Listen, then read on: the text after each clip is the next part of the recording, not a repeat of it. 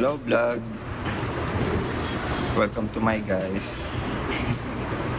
Joke. Anyway, uh, ito na yung final setup ko.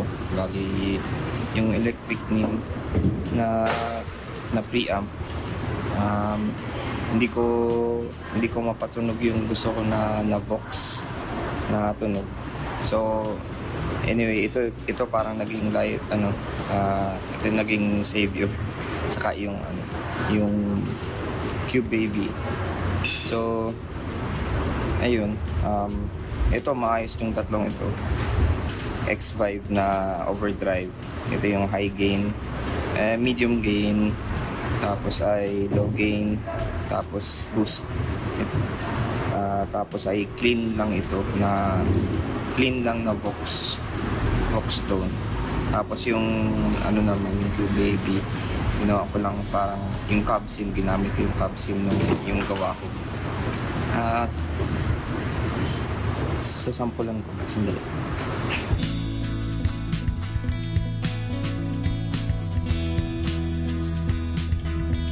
Bali, ito, kapag ito lang yung tunog, kapag yan lang yung naka-on, ito yung magiging tunog niya. So, gumagamit ako ng head rush, uh, ano yan, uh, monitor lang, flat, flat response monitor. Uh, yan, ito ang tunog niya.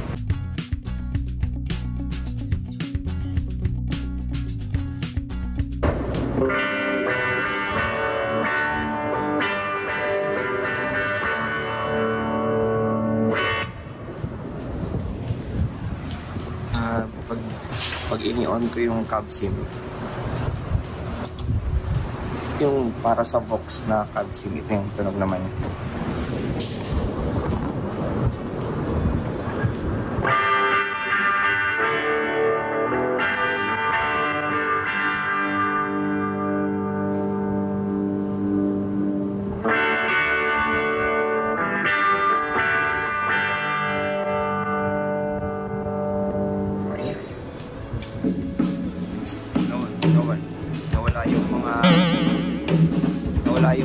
pieces nung AC to.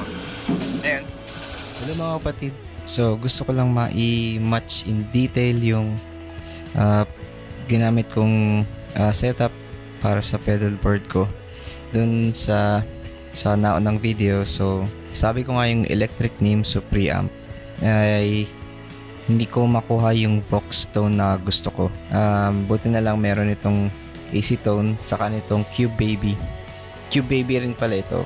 Eh, ibang brand lang. Gusto ko lang iparinig sa inyo na naka-direct para mas dinig ninyo sa phone o mas dinig ninyo sa sa earphones kung kung ano ba yung tunog niya. So, unahin natin itong AC tone.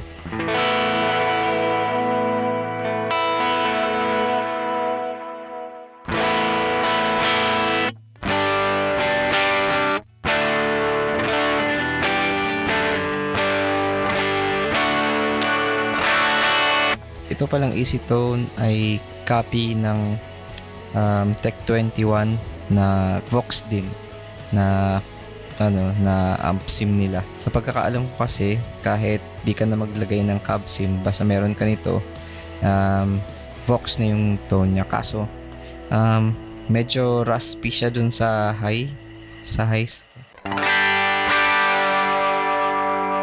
Parang parang grainy So, naisipan kong gamitin yung Cube Baby dahil nga may nilagay ako sa kanyang Vox na cab sim. So, ito yun kapag ka dinagdag mo yung Cube Baby.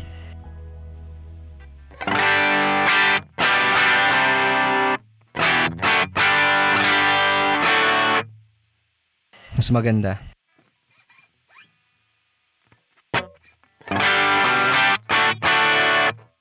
Tapos pag sinamahan mo pa nitong tape core,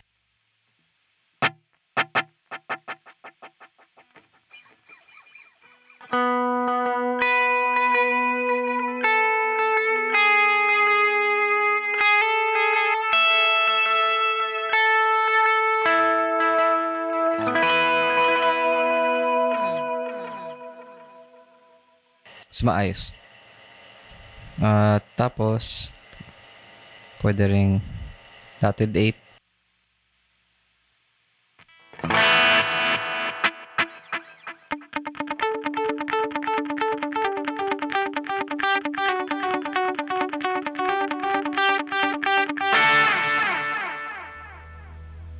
Nalo.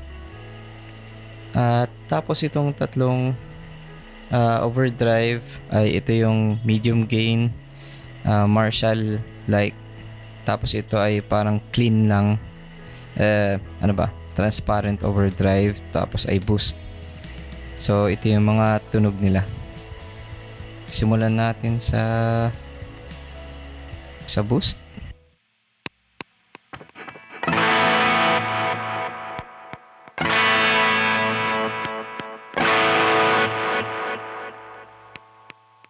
Tapos yung second overdrive.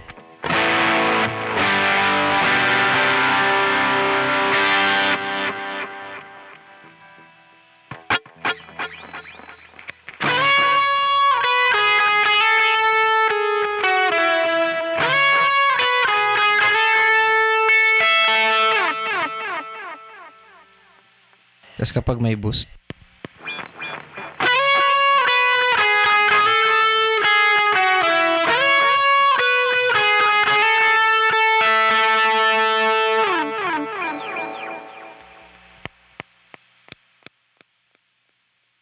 mas maganda. At ito naman yung ah, medium gain o high gain na rin.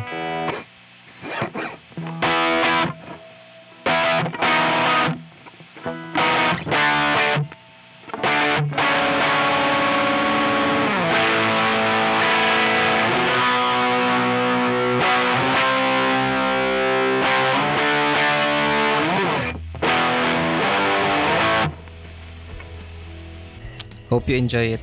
Ah, kung may questions kayo, mag-comment lang. At um, sa susunod, mas mag-deep dive pa tayo sa paggawa ng, ng pedalboard tulad dito. Um, ito ay hindi ko ginagamit kasi dito nakasaksak yung, ah, yung bass. So, dito siya, input yung bass, saka yung output niya dito. Sa electric nim pala ito maganda yung tone. Um, so yun lang guys. Thank you.